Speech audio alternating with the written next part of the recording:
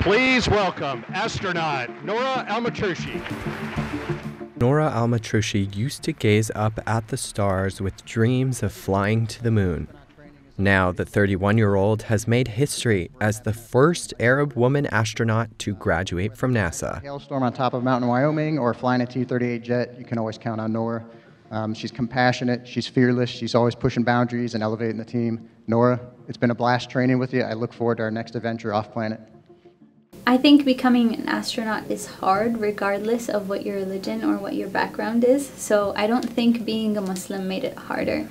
Um, but being a Muslim made me aware of the contributions of my ancestors, of the Muslim scholars and scientists that came before me that uh, were studying the stars. And me becoming an astronaut is just building on that legacy of what they started a thousand thousand years ago. Joining AlMatrooshi in the Emirati Fellowship of Astronauts is fellow graduate Mohammed AlMulla. Who wants to go to the moon? It's me. Hi. I'm the problem, it's me.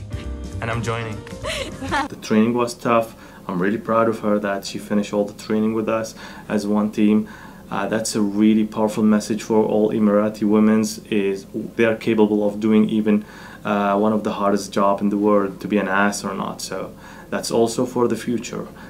We are living now for our next Artemis generation but a lot of UAE astronauts will also follow us and they will be the future for humanity as we did now.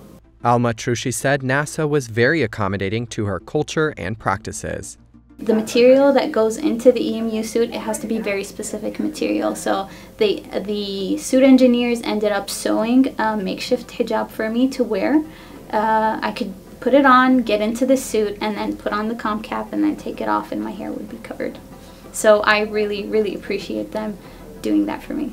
AlMatrooshi was picked by the United Arab Emirates Space Agency to train at NASA's Johnson Space Center in 2021.